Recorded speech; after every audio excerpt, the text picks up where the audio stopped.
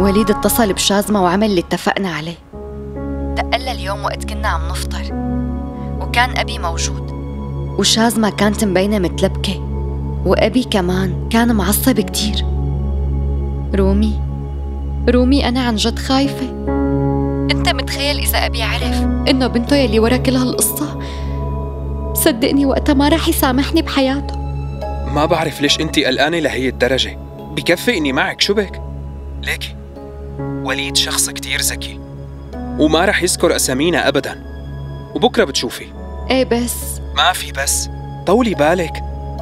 شو انت ما بتوثقي فيني القصة مو بالثقة. أنت ما بتعرف أبي وقت يعصب ابدا. بتعرف شو بيعمل إذا عرف؟ وقتها رح يحطك أنت وليد بالسجن. طيب وأنت ليش عم تفاولي علينا؟ خلص طولي بالك.